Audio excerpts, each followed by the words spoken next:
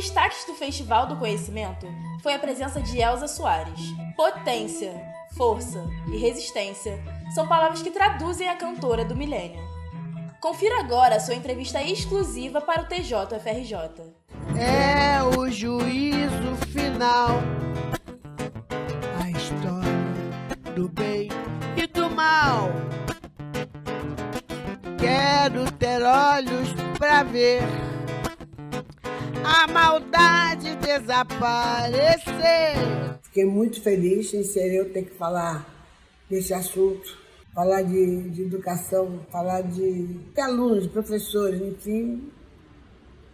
Estou muito feliz. Parabéns, parabéns, parabéns à Universidade do Rio de Janeiro pelos seus 100 anos.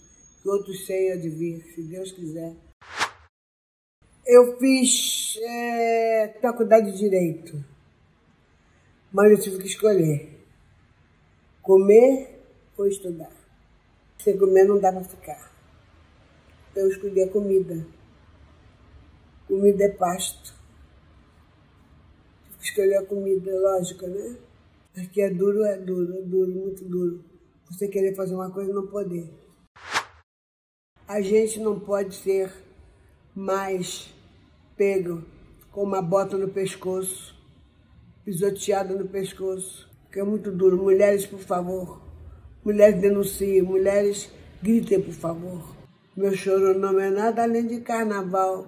É lágrima de samba na ponta dos pés. A multidão avança como um vendaval. Me joga na avenida que não sei qual é. Vai passar e seremos mais fortes. Precisamos de união, de fé, de força e de muito amor para vencer essa batalha. O sol há de brilhar mais uma vez. A luz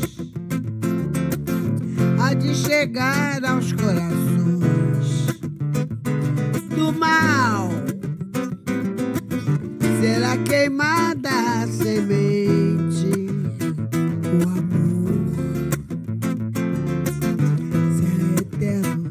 Lávame